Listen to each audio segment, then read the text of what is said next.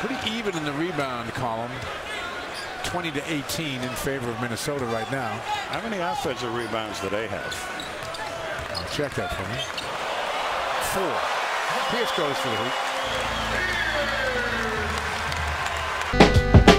Damn, it feels good to be a gangster. A real gangster ass nigga plays his cards right. A real gangster ass nigga never runs his fucking mouth, cause real gangster ass niggas don't start